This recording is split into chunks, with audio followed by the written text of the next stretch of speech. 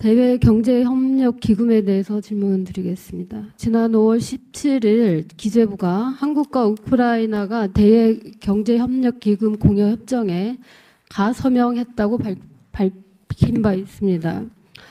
어, 얼마를 지원할지 구체적인 금액은 밝히지 않고 지난 2월에 1.3억 불 규모의 추가 지원 의지를 발표한 바 있다는 설명만 덧붙였어요. 그러나 같은 날 우크라이나 정부는 한국으로부터 극히 호의적인 조건으로 최대 80억 달러 유치해서 이렇게 발표를 하고 지원 조건도 연이자 0.15%의 40 년 만기 조건으로 제공한다. 어, 제공된다. 이렇게 주장을 했고 그게 우크라이나 언론에 다수 보도가 됐습니다. 우크라이나 언론 보도가 어, 지금도 인터넷에서 쉽게 확인이 되는데 이렇게 양 정부 간에 서로 다른 발표 내용으로 논란이 되니까 우크라이나가 어, 자국 정부 포털 홈페이지에 게시되었던 주요한 숫자와 내용을 바꿔서 올렸어요. 자, 은행장님 지금 그 증인으로 출석하신 거 알고 계시죠? 어, 예. 유증이 되지 않게 유념해서 답변해 주시기 부탁드립니다. 이 최대 80억 달러, 연이자 0.15%, 어, 40년 만기, 세 가지 모두 굉장히 좋은 조건인데 우크라이나 공여 조건 중에 해당하는 게 있습니까? 어, 먼저 80억 불은 아마 우크라이나 쪽의 희망이었던 것 같고 음, 아시다시피 9월 달에 어, 대통령이 G20 정상회담에서 어, 발표하기로는 20억 불로 지원했기 때문에 아마 20억 불인 걸로 알고 있고 그 금리하고 그, 그, 그 만기는 저희 EDCF 지원 조건 중에서 어, 가장 장기로 40년까지 할 수 있기 때문에 아마 그 사람들이 그거를 희망한 것 같고요.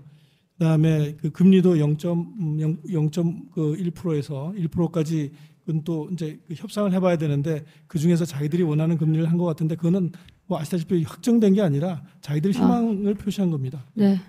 확정이 된 게 아니군요. 예, 자, 그래서 이렇게 5월에 이런 논란이 있었고 9월 10일 윤석열 대통령은 G20 정상회의에서 어, 내년에는 인도적 지원을 포함한 무상개발 협력과 국제금융기구를 통한 지원 등 3억 달러를 추가로 지원할 계획이고 20억 달러 이상의 중장기 지원 패키지를 마련하여 우크라이나의 재건을 적극 돕겠다 이렇게 공식화했습니다.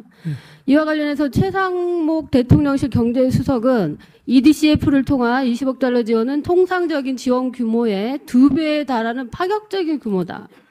GDP 대비 주요 7개국 중 일본과 유사한 수준이다. 어, 굉장히 어, 파격적인 수준입니다. 대외 경제협력 기금이 설립된 1987년부터 2022년까지 35년간 어, 개발도상국 지원을 위해 승인한 금액의 전체 누계가 얼마입니까? 승인한 전체수가 24조 정도 됩니다. 27조 7천억 그렇죠. 원입니다. 그런데 이 35년간 27조 7천억인데 이 지금 우크라이나를 지원하는데 지금 3조 1천억 원을 쓸 예정이에요. 정말 파격적이죠. 맞죠? 예, 파격적인 건 맞지만 저희가 오디의 규모를 계속 그 어, 하여튼 그 큰 금액이잖아요. 한 국가 상대로. 예, 지난 5월에 가협정이 있었고 9월 10일에는 윤석열 대통령의 발표가 있었습니다. 그리고 3일 뒤인 9월 13일 한국과 우크라이나 간 대외 경제 협력 기금 공여 협정 정식 체결이 있었어요. 자, 원래 공여 협정 사업 약정이나 기본 약정 그 다음에 차관 계약 사업 지원 순으로 이렇게 진행이 되는데 지금 현재 어느 단계에 와 있습니까? 지금 그 20억 불은 25년부터 종전이 될 경우에 나가는 거고요.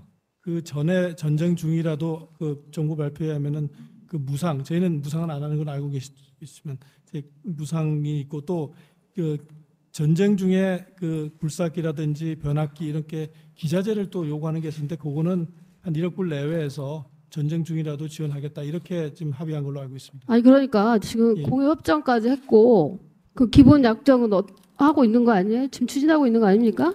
예, 체결은 완료했지만 그게 이제 아시다시피 그는 그 한도만 정해놓은 아 지금 단계를 말씀드리는 거예요. 공여 협정 다음에 사업 약정 또는 기본 약정 단계로 가는데 그그 기본 약정을 추진하고 있는 단계인 건 맞죠? 그렇습니다. 네. 자, 기본 약정에는 한도 협의가 필요한데 20억 달러 수준이 아니면 아, 그거보다 많은 30억 내지 80억 달러 수준이에요. 아, 그, 그 20억 달러 내, 내, 내에서 그, 그, 20억 달러요? 네. 아, 그러니까 한도가 20억 달러고 그 내에서 지금 추진하고 있다는 거죠. 예. 어, 우크라이나 현재 법인 설립됐습니까? 법인. 법인.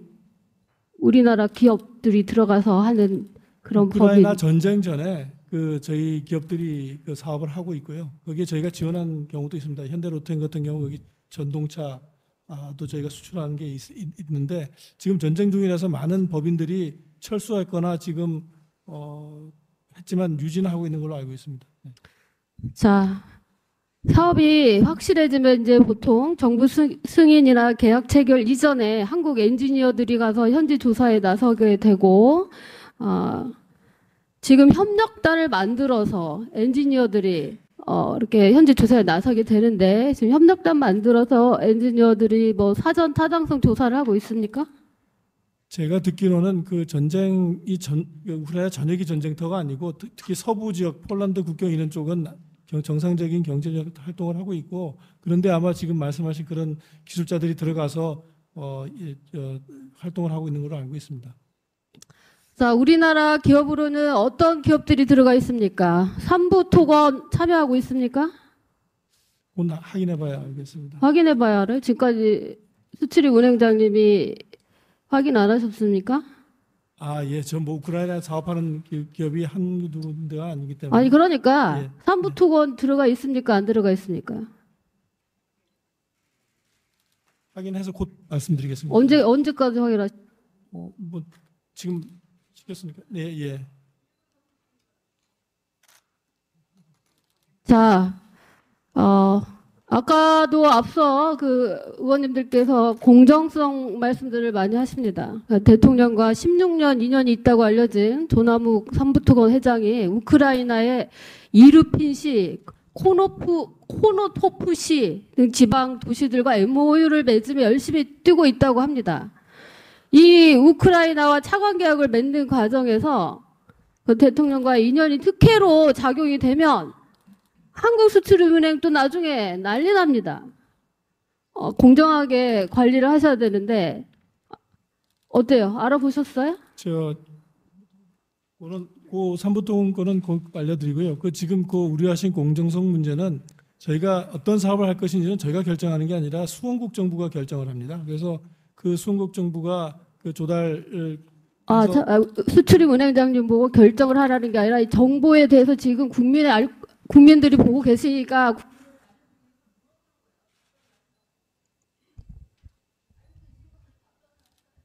제가 삼부토건 답장을 못 받았고요. 그 삼부토건이 참여하는지는 아직 답장을 답 확인